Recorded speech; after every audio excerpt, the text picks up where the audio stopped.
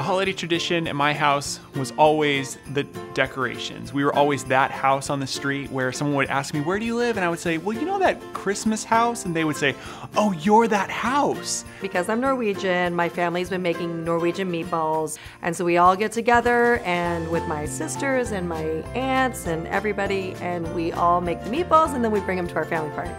And we've been doing it ever since I was a little girl. My entire family gets together, like aunts, uncles, nieces, nephews. We start off with my uncle making a big giant pot of gumbo. After gumbo, we all do karaoke and it gets a little crazy. We've actually had the police called on us because it's a full on party. Ever since I was a kid, our tradition for the holidays is making tamales, and my favorite are the chile verde.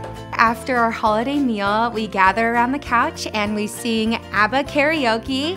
My grandma and I, we do this cute number together when we sing Dancing Queen. My family and our friends um, carry hot chocolate through Candy Cane Lane. My Christmas tradition is incredibly untraditional. I have a big, huge Christmas Eve party where I invite friends and family, but I pick a theme by country, and then everything's wrapped around that theme of the country all the food, the entertainment, and my tree tops it off. My family gets matching jammies, and we all watch Elf on a big screen outside under the stars. So, I'm recently engaged to someone from the Netherlands, and it's just been wonderful getting to learn his family traditions and being able to blend them with my family's traditions. Each year, my dad hides a pickle ornament on the tree. It's a German tradition. My family is German. I usually am the one to find it, um, but every once in a while, my brother or my sister does. we like to take basically theme photos Last year, we our theme was basically Abbey Road. The reason why we chose that is because we were all going in different directions in our lives at that time. And so this was to basically mark the journey. Every Christmas Eve, my brother and I would be itching to open a gift. And so my parents would let us open each other's gifts.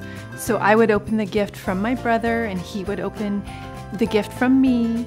And actually, even now that we're adults, we carry the tradition on. It's my daughter Gigi's first Christmas. We're gonna start a brand new tradition and we're gonna wear matching pajamas as a family Christmas morning. Our entire family has Christmas dinner on Christmas Eve, and we literally, everybody stays up till midnight to open presents. Everybody from the oldest to the youngest, literally, even though they're grouchy. Every year with my four kids, we bake gingerbread houses. My holiday tradition when I was a kid was to um, go to bed the night before Christmas very early because I wanted to wake up very early in the morning. And my duty was to run into everybody's bedrooms and scream to everybody, Baby Jesus is born! The toys are here! The gifts are here! Wake up, wake up! We have to open our gifts. Now that I have my own family and uh, I have my son. I'm waiting for him to be able to run around and wake us up on Christmas morning so we can start the tradition with him.